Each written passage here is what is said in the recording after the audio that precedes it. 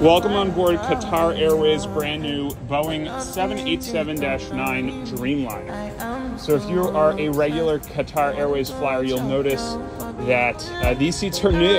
In, in fact, they're new for any airline in the world because uh, this is the first airline to have them on a plane. They're called the Adient Ascent seat. Uh, it's got a few nifty features that you won't find in the traditional award-winning Q suite, like a wireless phone charger. So as you can see, the seat is still pretty wide. Tray table latches out and swivels, which is really nice. And of course, there's a door.